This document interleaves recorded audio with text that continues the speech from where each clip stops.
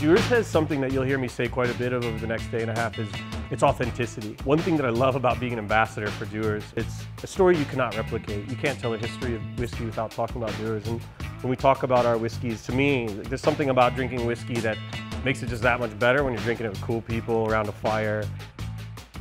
You're gonna get the opportunity to make some cool drinks with some cool ingredients over the next day. Uh, but think of this as just really a casual opportunity for us all to make friends, tell good stories, and to chill.